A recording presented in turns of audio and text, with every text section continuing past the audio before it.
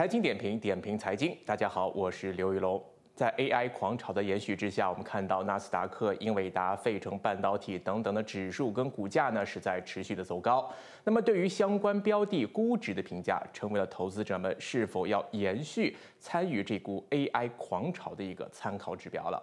那么以市场的反身性来说的话，线下美股的这场盛宴是否仍然能够继续来参与？而中国两地市场方面近来的政策调整又将会带来怎样的一个长远影响呢？就相关问题，我们立即来连线汇伟国际投资有限公司的投资总监徐伟华先生。Michael，早上好。主持人早上好。我们看到，尽管啊，美股三大指数呢，昨夜是出现了一个收市的向下，但是呢，标普五百指数也是一度创出了一个即时新高，纳斯达克呢也是处在一个历史高位的水平了。那么，AI 明星龙头股英伟达方面更是创出了一个即市和收市的新高。通常啊，在投资当中呢，反生性这个概念不但呢是可以用来判断泡沫，反过来呢也能来判断价值的洼地。那么，在当下的时间点，您会如何来看待市场的这个反生性呢？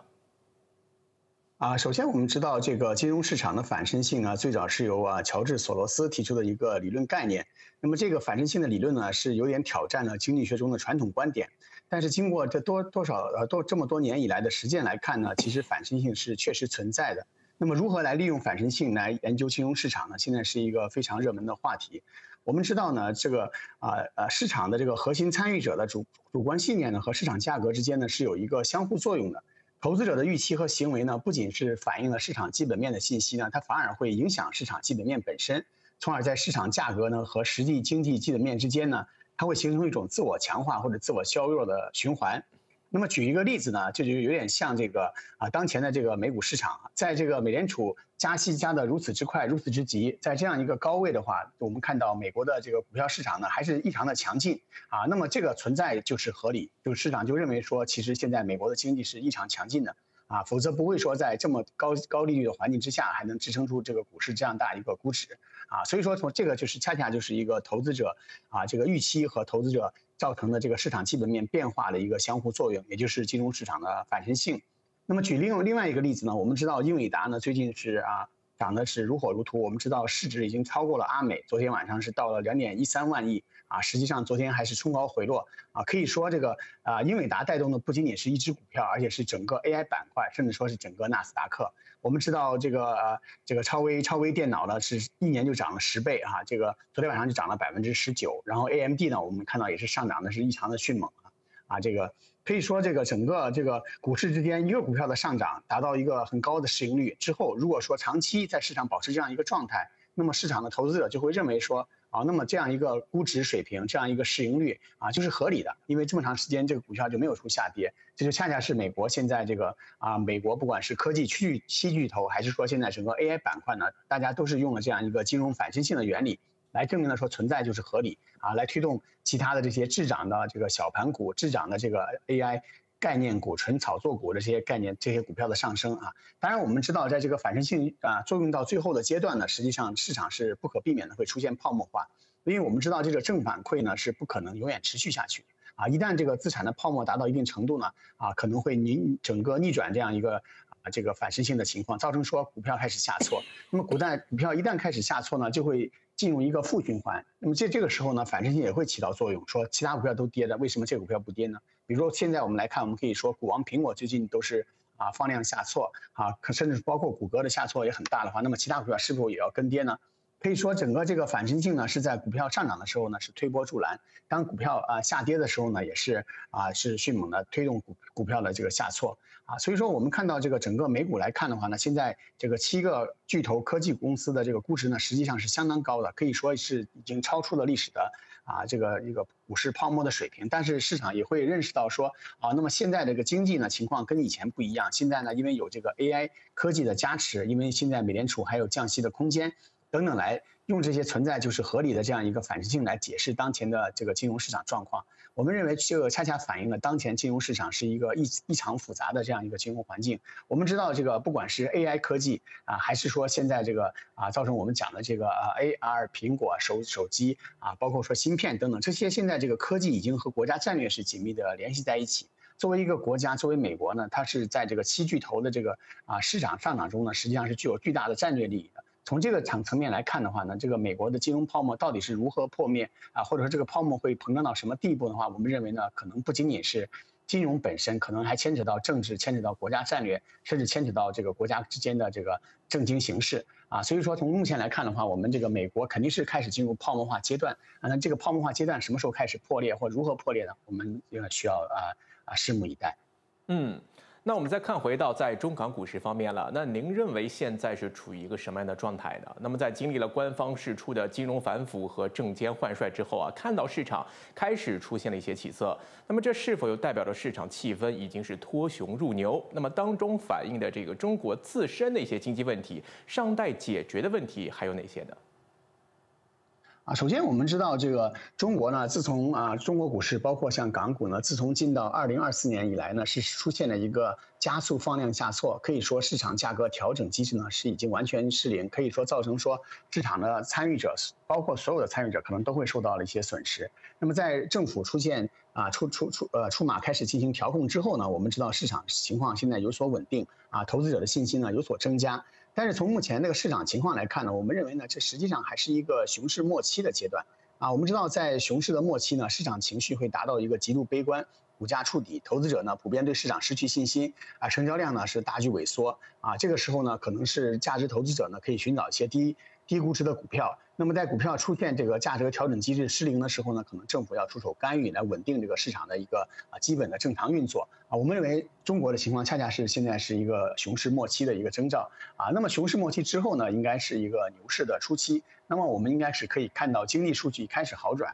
投资者信心恢复，市场逐渐觉醒，而股价呢啊开始上涨，成交量增加。啊，那么在这个牛市初期的这个觉醒阶段呢，价格上涨通常是比较稳健的，而且市场参与者呢是逐渐认识到了经济复苏的这样一个真实性啊，当然也存在着说对经济是否复苏的这个不确定性和质疑啊，在这个质疑和啊求证的过程中呢，造成了牛市的初期。那我们现在认为呢，中国距离牛市初期呢，现在还是在可能刚刚开始，到底这个中国的这个啊整体实体经济是否开始会出现好转？而且这个这个对经济复苏的这样一个真实性，如何通过数据啊，如何通过企业的这样一些啊指标能看到啊进行确实，我们才能认为说中国已经进入啊牛市的初期啊。至于说进入牛市中期的繁荣阶段，经济增长强劲，利润增加啊，大家投资者情绪乐观啊，广泛投资者广泛参与，股价快速上涨，我们认为呢，这个实际上还距离中前目前中港股市来讲还是相距甚远。啊，可以说这个啊，而反观美国方面呢，我们认为其实美国现在是一个应该是在一个这个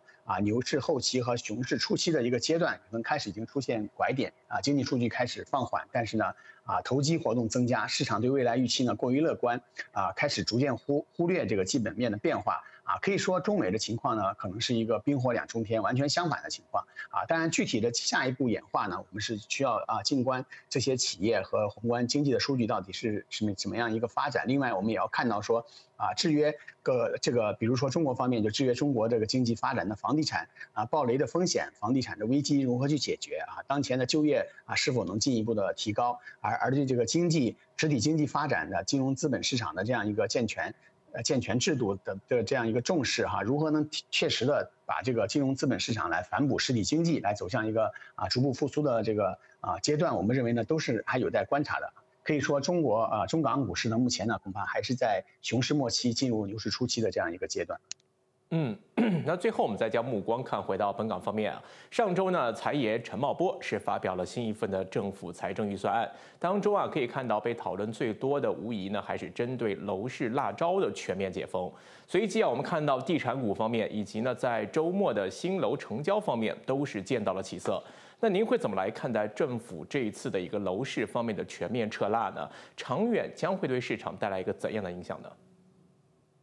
首先，我们认为这个本次这个香港政府的这个彻底撤销辣招呢，实际上是一个非常果断的一个正确的措施。我们知道啊，作为市场啊，一般来讲它是具有一个自我调节机制的，除非是说市场出现啊非常过度的反应啊，不管是过度悲观呢，还是过度炙热的反应的话，政府可能还会出现一些调整啊。可以说之前呢，政府引入这些啊税收呢，也是因应了当时全球的这个一个啊非常极端的这样一个楼市热炒的状况。在现在呢逐逐步恢复理性之后呢，迅速取消这一个政策呢，是恰恰尊重了市场，尊重了市场调节的机制。我们认为这是非常有必要的啊啊，市场的调节机制，也就是说。当价格上涨过快的时候呢，供应量就会增加，会缓解这个价格的上涨；而在价格下跌之后呢，啊，恐怕这个供应量就会减少啊，造成说需求的上升啊。可以说，这个整个调节机制来讲的话，在啊呃几百年的人类历史来看的话，其实一直是还是有效的。所以说啊，香港政府呢彻底撤掉撤掉这些辣招呢啊，让市场来啊来控制这个楼市呢，我们认为是一个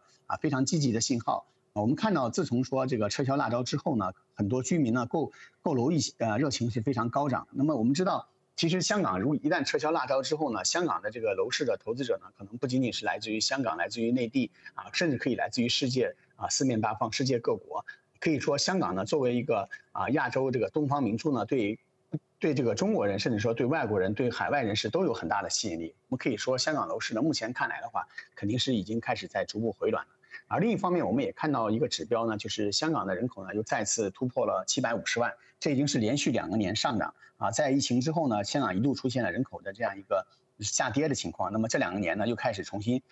创涨上来，现在又创造了一个新高。可以说这个啊，充分说明了香港对这个人才的吸引力还是很大的，尤其是说啊，目前香港这个来的人口当中，很大一部分是当时吸引的这个专才和高才。啊，这种高高速的人群，那么带来的这样一些啊经济活力、科技创新以及说人才的这样一个储备，我们认为呢，啊可以说会进一步促进香港这个不管是经济还是楼市的健康发展。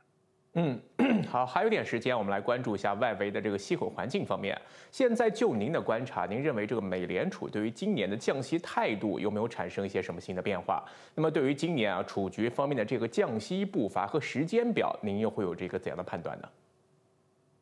啊，首先我们看到啊，目前呢，市场最初的预期呢是美美美联储会在三月份降息，但是现在呢，啊，在美国股市啊如日中天的情况之下呢，可以说啊，市场普遍预期呢，美联储将在第三季度开才开始降息啊，降息之后呢，恐怕今年最多也就是降三次息。那么这个主要是因为呢，当前的这个经济指标呢确实也还不错，另一方面呢，就是我们也看到说有些通胀数据呢并没有像想象中下的这么快。啊，作为美联储来讲的话呢，我们知道美联储主席呢鲍威尔周三、周四呢将会在国会呢就货币政策作证，啊，他估计会再次重申呢美联储不急于降息，啊，这个就有点像我们中国啊俗话讲的这个箭在弦上，引而不发，啊，如果箭不发就能达到啊箭射出去的效果呢，可以说美联储是没有必要急于降息的，啊，在现在这样一个啊这个呃利率的水平，如果企业还能有一个非常强劲的发展，是可以说为美国经济增长打下了一个坚实的基础。而另一方面呢，也会说，将来如果经济进入啊呃走向疲软，然后就业市场出现问题的话，美联储降息的空间呢也会非常巨大啊，可以说